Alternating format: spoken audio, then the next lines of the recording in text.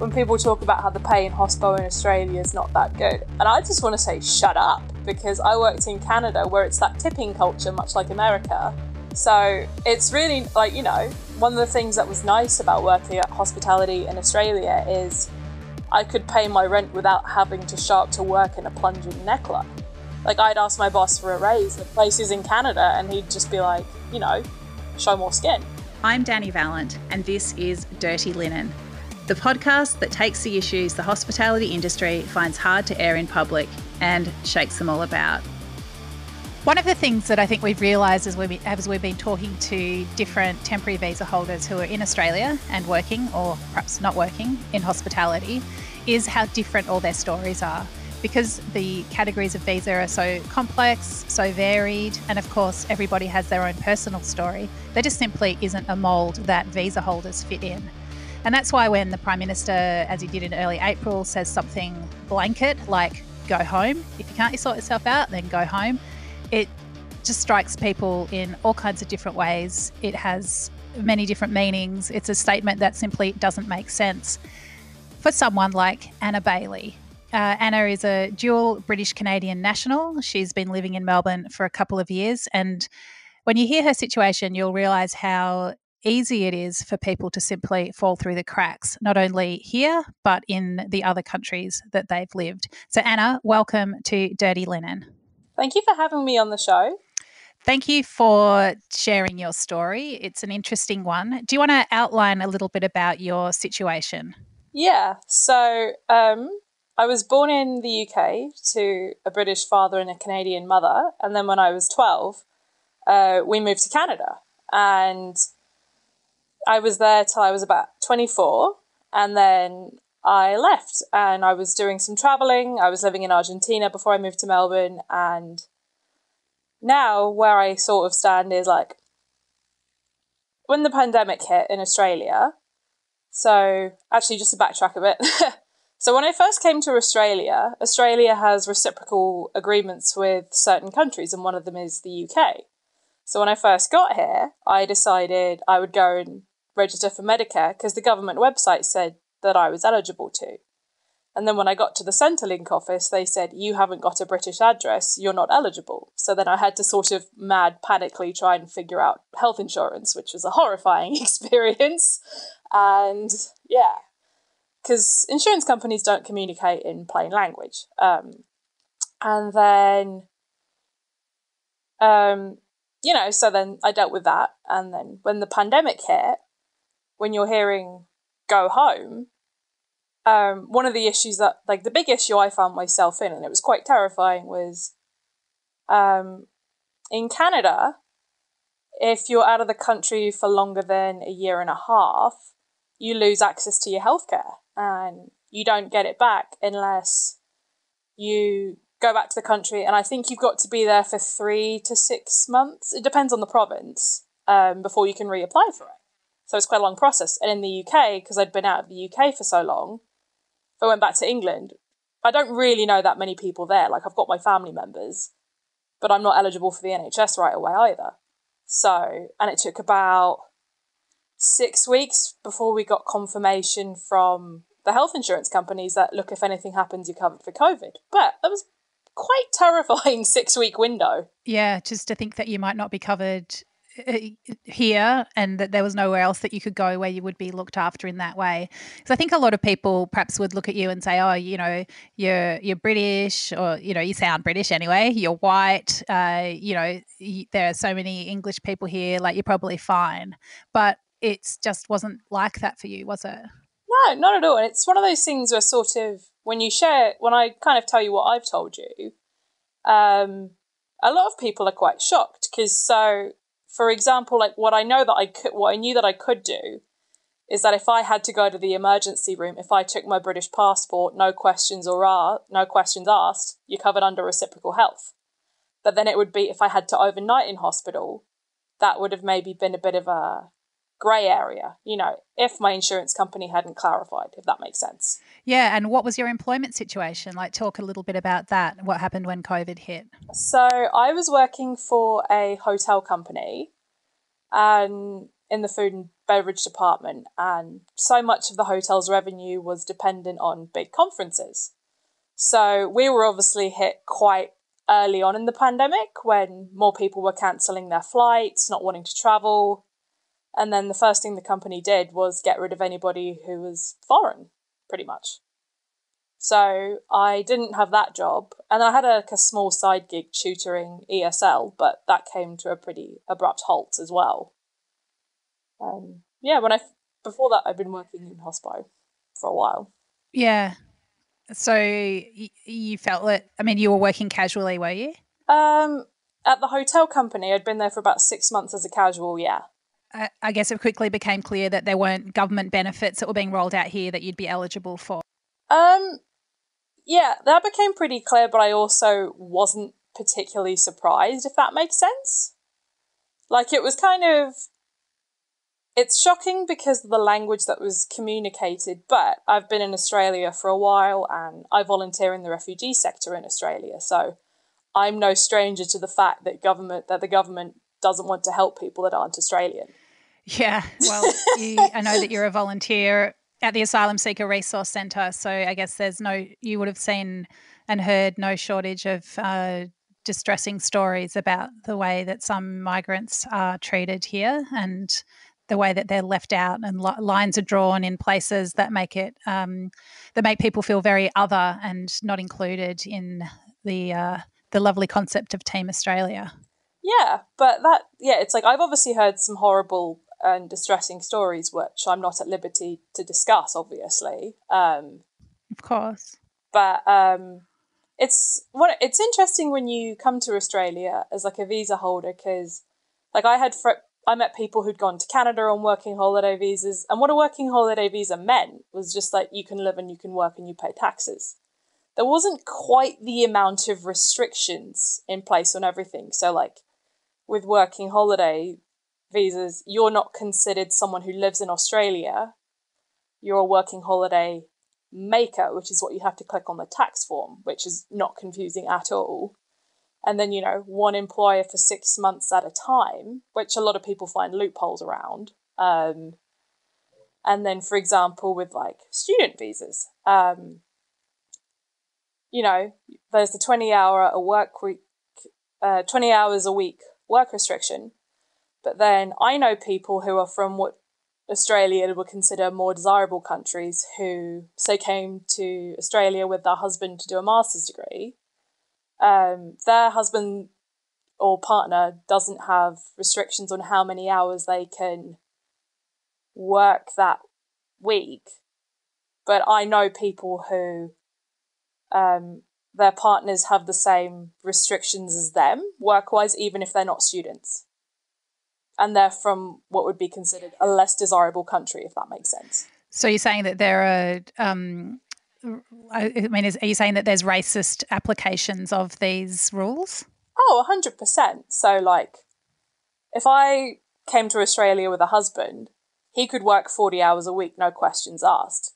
Someone from, you know, not a Commonwealth country um, or Anglo Saxon country or EU member state, their partner would only be able to work 20 hours a week when they're you know, the primary visa applicant is studying, then 40 hours a week during school holidays, and then back to 20 hours a week. So there's so many conditions that are attached to every appli- every application that it's quite different. So, you know, Team Australia is almost like trying to get onto an Olympic team in many ways. yes. Because they like to differ you as much as possible. Yeah. They put a lot of hurdles in front of you. So, do you think there are stereotypes around the different types of, of visa holders in Australia?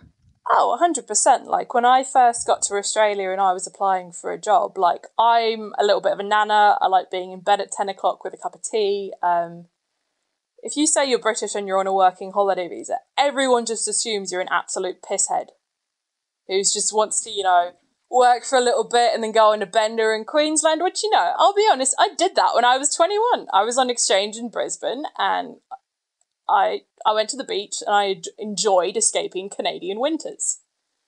But the fact that you say I'm a working holiday visa and they just assume, associate you as this party monster pisshead, it's not fun. right. And then as a student, a lot of people assume that like, um, like I'm doing my masters right now at Swinburne Uni, and we have a very international cohort. And you know, there's the stereotype that you know international students have pots of money, but a lot of the people in my cohort are on scholarships, like myself. So it's amazing to think that you're on a scholarship. Does that actually does that mean that your fees are reduced or waived, or does it actually give you a stipend as well? Um, it just means my fees are reduced, so I pay about what Australians pay. Okay. I don't get a stipend like some unis have specific scholarships, and I remember when I was applying for my masters, I looked at doing Macquarie Uni in Sydney because they had scholarships they said full scholarships for British citizens. But I decided, oh God, is this going to be the citizen versus the resident saga again, which I've already dealt with so many times. So I decided not to apply because I just didn't want the headache. Right. I mean, how much energy do you feel like you need to put into jumping through all the hoops and negotiating all the different rules? I mean, is, is it is it a sort of has it been a constant during your time in Australia that you've had to deal with? Um, it's been pretty constant during my time in Australia, and look, obviously part of this is self-made. I could have chosen to stay in Canada, but that didn't feel like me, and I felt I don't know, you I felt a gut feeling to move to Melbourne, so I did it. Like, and it's the more people ask you where you're from and where you live, the more you just want to go shit because it's like like when you're like me, you don't really know where you're from anymore. And doing visa applications get more and more complicated because for my most recent one, it was like, where are you from? What's your citizenship? Do you have another citizenship? What's your primary country of residence? And because I was listed as a working holiday maker, I'm like, and that's what I have to click on the tax form. Even though I've been renting an apartment in Melbourne for two years, I'm just like, I have no idea what I'm doing with this, and I'm just going to wing it and hope for the best. Right? Yeah, it, it yeah, it's it doesn't it doesn't gel with the life that you're building for yourself. I mean, you're studying for a masters. You've you built a life here. You're definitely not um, backpacking around the place. So yeah, it just but it's it's funny. It's like really trying to squish square pegs into round holes, isn't it? It yeah. just doesn't it just doesn't align. There's also something that you discovered um, about tax and the way that the Australian government taxes working holiday visa holders. Can you talk about that? So last year, um, I think it was the High Court in Australia, I can't remember off the top of my head, um, they found that the Australian government had been illegally taxing citizens from 11 countries. And I can't remember them all off uh, the top of my head, but one of them was the UK and one of them was the United States of America. And by illegally taxing, I mean that citizens of these countries um, are being taxed 15% in Australia when citizens of Australia don't pay taxes on working holiday visas or pay very little um, when if they went to go and live and work in the UK, for example. Okay. I, well, I, th- I, think it was also that there's a tax free threshold for Australian citizens where you don't have to pay tax until your income exceeds, I think it's around $20,000. Whereas the, the um, people on working holiday visas who were working here were taxed 15% from the very first dollar that they earned, um, which then which breaches a, an agreement, a reciprocity agreement that the working holiday visa holders will be taxed in the same way as the locals. So um, it was a breach of that agreement. Um, but I think I don't think anyone's actually been paid back any tax. Do, have you heard of anyone actually getting any money back due to this finding? Um, because the government's trying to appeal it, and they as we've talked about, there's nothing more that the current government loves doing than othering people and making all sorts of awkward exemptions and rules. So they were saying, like, oh, yeah, but there are some people who have actually been living in Australia and not, you know, on working holidays, even though they've been on a working holiday. And from my understanding, what that means is there's people who haven't been you know, moving every three months, which is what the government wants you to do. It's why they have the six month kind of, you know, the six month work restriction and the three months on the farm. They want you to keep moving. Well, they want you to pick fruit and, and do some of those agricultural tasks that um, that Australians aren't so keen to do. Yeah, which I did. I did tree planting in East Gippsland. How was that? I had a body like Lara Croft, so I got to eat like an entire loaf of garlic bread every night and not feel guilty. Amazing. Uh, I'd say I had one of the better experiences, like, because like so because forestry is so full on. Like you're climbing uphill 22 kilometers a day, planting 1,500 trees a day. Once you get the hang of it, um, it's really physical work. Um, so, look, it was an in it was an experience. I didn't particularly enjoy it, but my bosses were all like every Friday, they'd be like, You guys have done a really hard, difficult thing, and they'd buy a slab of beer and we'd just drink it in the nearest park. So I think I had one of the better experiences. Was the pay rubbish? A hundred percent. But were my bosses fair and reasonable? And they were like, if you if something's hurting, just call it a day. If you've done what you can for the day, that's fine. So that sounds better than a lot of the stories I've heard, which is people living in disgusting conditions, working incredibly hard. It's actually really hard to make any money because you know you've got to, uh, you, you know, you've got to pick however many kilos of whatever it is before you even get above zero. And yeah, it just it just sounds like there's a lot of exploitation out in the regions for when working holiday visa holders head out there. Have you heard some stories like that? Oh, I've heard so many, and it was one of the things where like I was really terrified about trying to find work, and then it was just I think so much of trying to find farm work is just luck and chance, and I got really lucky. Um, but the other thing is with doing something like forestry, it is much more physically laborious than fruit picking.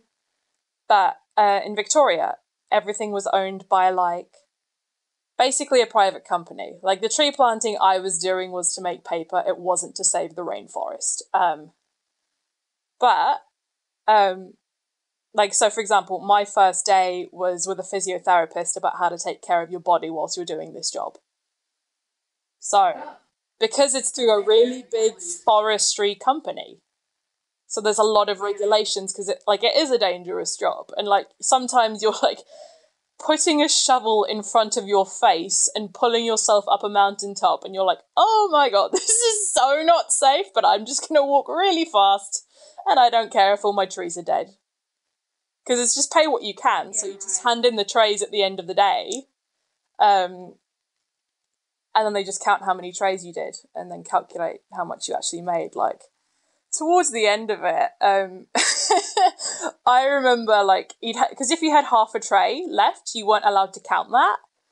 So I remember we'd all take these trees and hide them in our trousers, and then we'd get in the car, and as soon as we got you know out of the convoy, we'd just start throwing them out the window.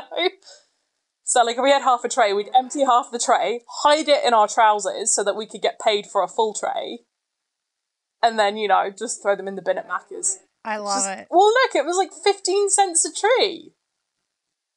So, like, yeah, like your oh underpants were covered in debt. And this was a good job. This is this was one of the lucky jobs, so that's pretty yeah. crazy.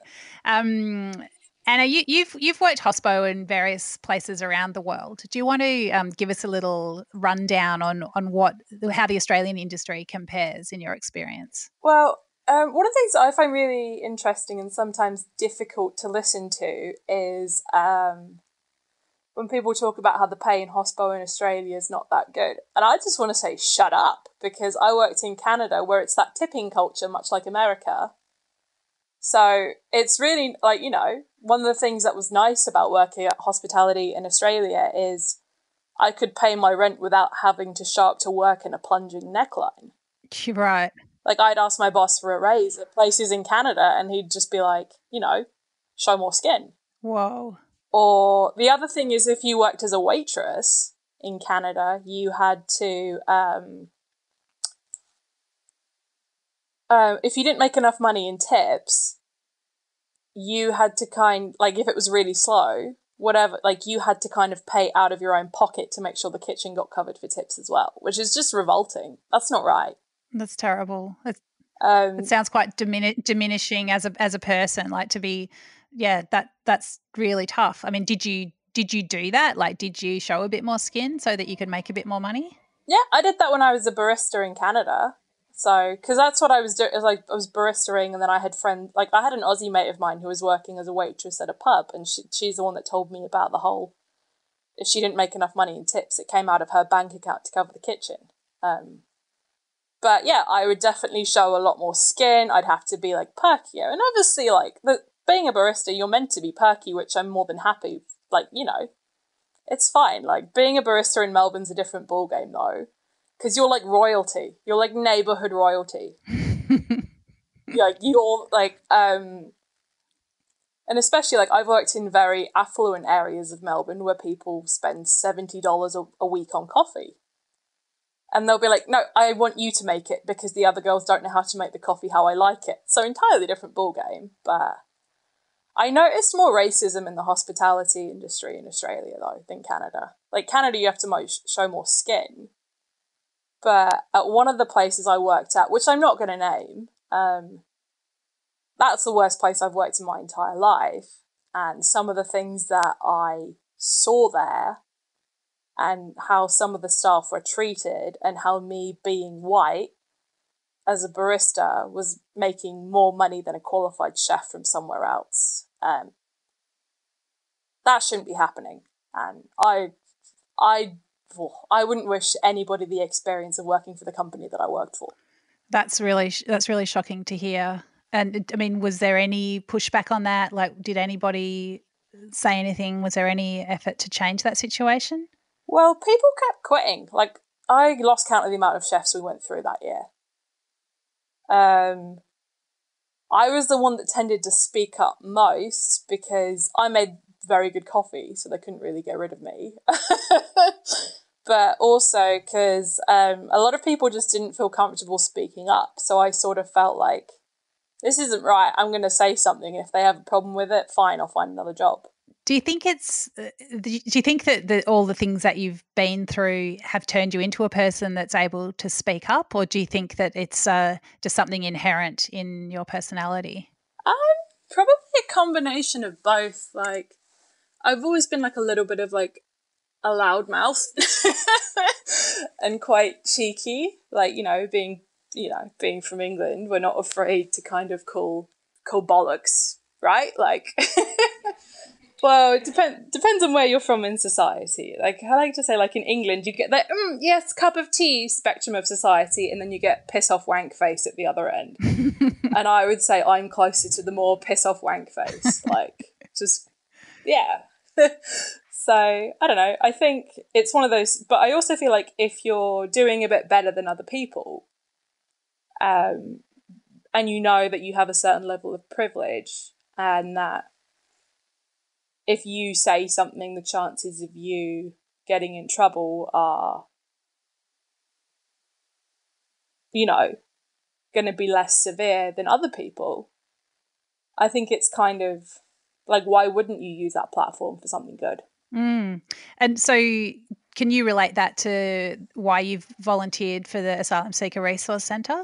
Um, well, I was volunteering in the refugee sector in Canada for about four, um, maybe about a year before I left, and then I did work with women's groups in Argentina, and I was on a uni placement in Tanzania, volunteering there as well, dealing with kids with severe disabilities. But um, yeah, it's I'm also like my background is in history and politics, and so you see that for, with that you hear about all the injustices in the world, and you know one of my motivations to volunteer at the ASRC is you know this is going to go like what 20 30 years from now this country will be apologizing to refugees for the way they were treated much like they apologised to the stolen generations. And at least I can say I was on the right side of history.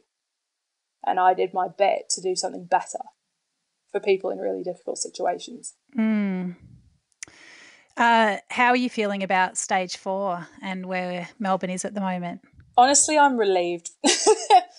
um, I was having a conversation with a mate of mine, and I was talking about how the leaders of the world are very much like George Costanza and Frank Costanza. you have the guys screaming "Serenity now" and trying to put a blanket on it, like Frank, and then you have the Georges, which are like, "It's not a lie if you believe it." And so, I'm hoping Daniel Andrews' latest attempt at Serenity now does something better, but um, I don't know. It's frustrating watching how selfish people are. Like, and yeah, I don't know. I'm happy that we're in stage four. Like, my life really isn't much different. I'm still unemployed. I'm still getting all my food from you and creating wonderful meals with that. um, you know, it's, I don't know, it's shit, but it's fine. If that makes sense. yeah, I, you know what? I think we're going to need some t-shirts saying it's shit, but it's fine because what what choice have we got but but to continue? So I'm just going to um, backtrack a little bit with a couple of footnotes for the listeners. So the Costanzas are that's a reference to Seinfeld, which is a, a sitcom that if you are locked down with a bit of um, with a bit of streaming, then you can watch Seinfeld and get into that Costanza vibe that Anna's talking about. And when Anna says that I've been feeding her, that's because uh, she's uh, been an attendee at the Attica Soup Project, which supports temporary visa holders in Melbourne and is extremely glad to do so. And I have to say, Anna, you sent me a photo via Instagram of something that you made from your grocery bag and uh, it looked absolutely delicious. So you obviously know your way around a kitchen as well as a coffee machine. Yeah. Um, well, for my master's degree, like, um, because it's media and comms, one of the units was video production, and so, you know, um, one of the things one of my lecturers said to me, and I think this is actually just really important in general, is what happens right now is either going to make you, or as a creative, or you know, it's going to cripple you. So, you know, for a video production class where I had no access to cameras I made a documentary on my smartphone about what Nigella Lawson has taught me about life, myself, and food. We need to see that. Can we all see it? Oh, I need. Oh, I can get someone to re-edit it. I don't think I can bring myself to look at that footage again. um, well, can you can you give us a give us a few things that Nigella has taught you? Um, that it's okay to not go with the crowd. Um, you know, like Nigella's like you know people talk about her being over overtly sex like overtly sexual, but she's just passionate and she's excited about food, and I think now more than ever that's so important. Like, so I try and get in the habit of having at least one meal I get really excited about once a day to like sort of treat myself, right? So it's like, um, yeah, like food should be exciting. Like, yeah, we can't go outside right now, but that doesn't mean you can't make yourself a very nice meal very inexpensively either. So that's one thing that I've learned from Nigella Lawson. Um, that also, like, you know, the notion of clean eating is really toxic. Because, um, you know, it applies that if you eat anything that isn't, you know, healthy or matches dietary standards, it's dirty and it's sinful. But like, you know, sometimes, you know, you need to eat something that's good for your soul. Like I've told you, there's been a couple of times over the course of the pandemic, I have had cookies and wine for dinner and I have zero regrets. Did I have a raging hangover the next morning? Absolutely. But did I need my cookies and my wine? Yes. Aldi wine. of course. So there's so many ways that, that food can nourish us, and it certainly doesn't have to be yeah because you've uh, applied yourself to the any kind of food pyramid. Um, and yeah, full respect when you when people talk about clean eating, it just makes me want to eat chocolate pudding and yeah, as you say, crack open some wine. So I think it's uh, yeah, it's silly, silly and damaging. Uh, which isn't to say we you know shouldn't all be eating lots of nice veg. That's important too, but um, yeah, there are lots of different ways of looking after yourself. Yeah, but like if you want a bucket, like if you just want like chicken and chips, like have the chicken and chips. Like, um, but I lo- I think also like Nigella Lawson is. She's so wise if you listen to her how she talks about food and community and sharing and um, I I think one of the things I love about her is she's so human. Like when you watch a lot, like if you watch as many cooking shows as I do, um, she like a lot of people kind of try and perfect everything's perfectly portioned, everything's perfectly organized, everything's perfectly sliced. Um, and Nigella's running around just going, "Oh, sorry, I'm impatient," and she just throws it all in, and I love that. Like, you know, there's for a celebrity, she's incredibly grounded in the way that she cooks, and she's like, she's not only a celebrity, she's like posh as shit. Like, her dad's, I think, um, in the House of Lords or something, but you know, she just goes, "I'm impatient and I need brownies for dinner," and I think it's important to have those characters that you can like connect with during difficult times like right now. Yeah. Yeah, beautiful. I love that, Anna. Um, look, you know what? It's been so great to talk to you. I think I'm going to go forward from this conversation with shit but fine um, as a little bit of a mantra. And um, yeah, as as I've been saying a little bit through these conversations, the pandemic is not ace at all, but it has allowed me to meet some really great people. And uh, that definitely includes you. Thank you so much for being part of Dirty Linen's chat about temporary visa holders, Anna, and bringing your unique perspective to the conversation. I'm happy to do it. Like, I first definitely, like, I think shit but fine has been my motto for this entire pandemic. And one of the things I do when I wake up in the morning is I just lie in my bed and I just scream, everything is fucking fine. And then I just feel better. Oh my God, life rules. That is awesome. I love it. All right, look after yourself. You too. This is Dirty Linen, and I'm Dani Valent. We air the issues that the hospitality industry finds hard to talk about. We spend a week thrashing around each issue, hearing from different people with unique perspectives. We want to hear from you as well. If you have something that needs to be said about a topic, get in touch so we can include your perspective. Contact us at dirtylinen at deepintheweeds.com.au or hit us up on Insta at Dirty Linen Podcast. We can't wait to hear from you. This is a Deep in the Weeds production.